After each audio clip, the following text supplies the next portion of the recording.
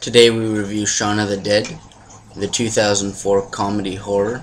This is for Hairy Movie Club. At the end I will have an annotation so you can see the other Hairy Movie Club entries. So Shaun of the Dead was directed by Edgar Wright.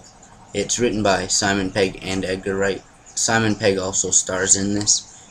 In this film, Simon Pegg's character is Shaun, and then Nick Frost is in this as well. This is the first of three films in the uh, Blood and Ice Cream trilogy. There's Shaun of the Dead, Hot Fuzz, and the most recent, The World's End. I'd say Shaun of the Dead is my second favorite, and my favorite would be Hot Fuzz. The World's End I didn't enjoy as much, but it's still a good film, so the whole trilogy is a solid trilogy. Shaun of the Dead being the first one.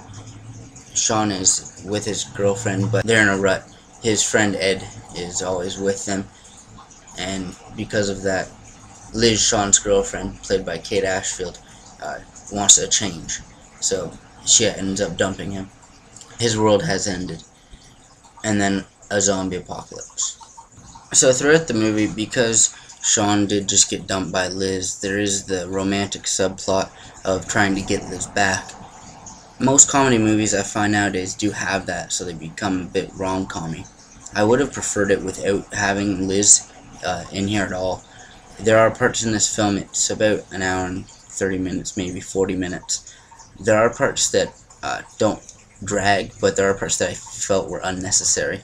Like where they did end up eating peanuts in the dark.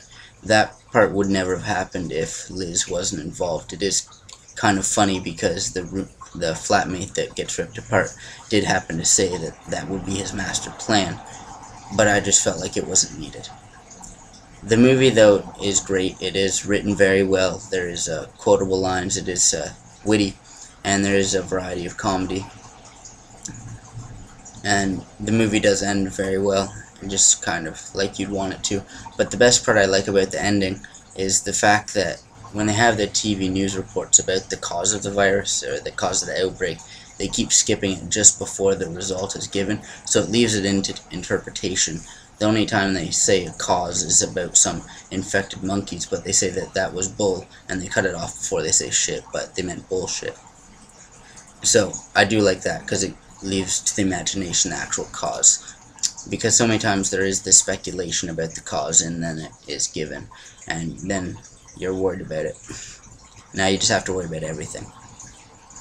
So like I've been saying, Shaun of the Dead, it is enjoyable, it is comedic, for horror, I wasn't really scared at any point. There are a lot of parts where it's gory, like Liz's flatmate gets his stomach ripped apart and you can see his intestines and his head gets ripped off.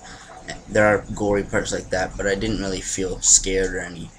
I laughed more than I was scared, so it is definitely comedy. Keep or delete, Shaun of the Dead is definitely a keep. The whole Blood and Ice Cream trilogy is, uh, but definitely keep. So this was Today we reviewed 19, and it is for Hairy Movie Club as well. I do have an annotation, it'll be right here, and it will be for the other Hairy Movie Club entries for Shaun of the Dead and the other movies that have been watched. Please feel free to reach me on Twitter at MadLFan or use hashtag TodayWeReview. Feel free to comment down below for future suggestions on movies to watch. I do look for them. You can find me on other social media and also online gaming. See you later.